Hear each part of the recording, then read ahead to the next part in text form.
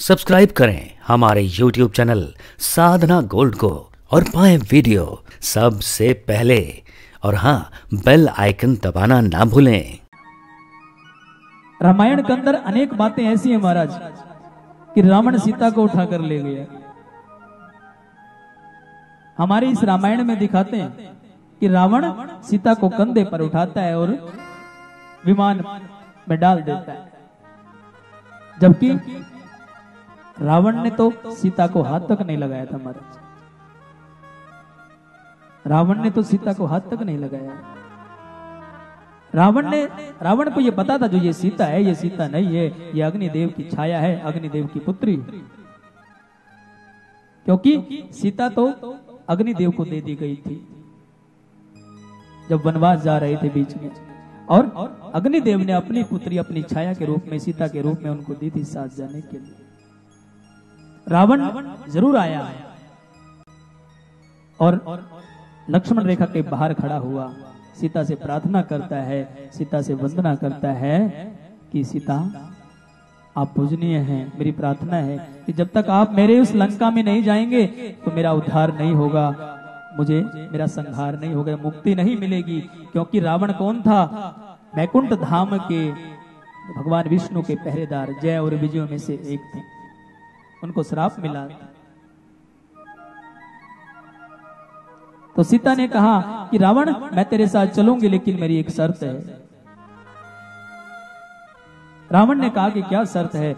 शर्त यही है कि मैं तेरे महल में नहीं रहूँगी तेरे महल में नहीं रहूँगी। मैंने अपने पति के साथ चौदह वर्ष का वनवास काटने के लिए प्रतिज्ञा ली है। अगर मुझे रखना है तो वन के हिसाब से रखना। तेरे वहाँ कोई वन है तो उसमें रखना, तेरे महल में नहीं जाऊँगी। तो सीता उनके महल में नहीं रही। रावण चाहता तो कारागार में भी डाल सकता था। रावण चाहता तो महल में भी बंदी बनाकर रख सकता था। रावण ने उसे अशोक वाटिका में ही क्यों रखा? पेड़ के नीचे ही क्यों रखा? ना कोई बेड़िया डाली, ना कुछ डाला, सिर्फ़ पेड़ के नीचे रखा। और वो राक्षस उसकी सेवा में रखे, जो बड़े शांत, प्रिय राक्षस थे। सेवा करने वाले दानव थे। वो उनकी सेवा में रहे हैं। अशोक वाटिका में सीता को रखा है। अपने महल से कई किलोमीटर दूर वन के अंदर जो अशोक वाटिका थी। और रावण तीन बार सीता से मिलने आया, केवल तीन बार। पूरी रामायण में रावण तीन बार सीता से मिलता है। और जब भी तीन बार आया है, अपनी पत्नी मंदोदरी के साथ आया है। अकेला कभी मिलने नहीं आया।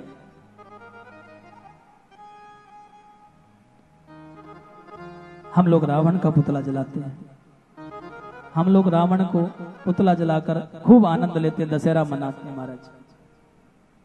रावण तो घर घर में है। किस किस के पुतले जलाओगे? रावण तो आज घर घर में।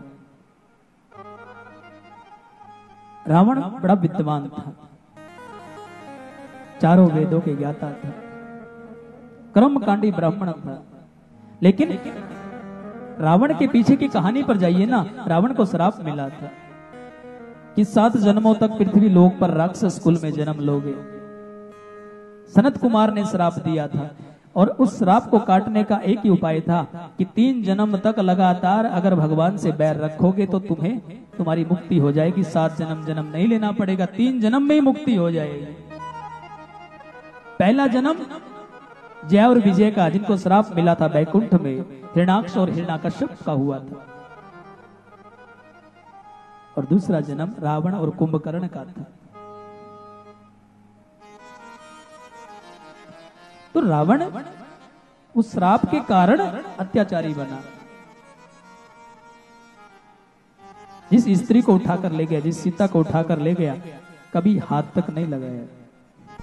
लेकिन आज के रावण ऐसे हैं, महाराज, आप महफूज नहीं हो। एक बार कोई उठा के ले जाए तो वापिस ही नहीं आओगे, महाराज। बोलो, हरे कृष्ण।